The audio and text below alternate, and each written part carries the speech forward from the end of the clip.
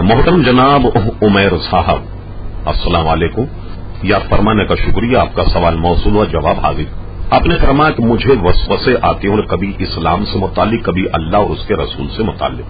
عمیر صاحب، مشکا شریف میں پورا باب ہے، اس کا نام ہی کتاب الوسوسہ۔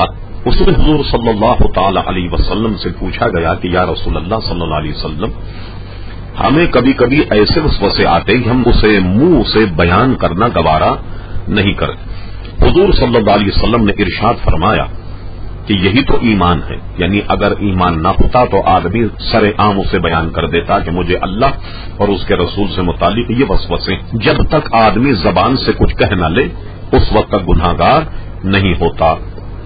اور اسی بات میں حدیث ہے کہ حضور صلی اللہ تعالی علیہ وسلم نے فرمایا، بے ساختہ اس قسم کے وسوسے جو میری امت کو آئیں تو اللہ تبارک و تعالیٰ نے میری امت پر ان وسوسوں کو معاف فرما دیا۔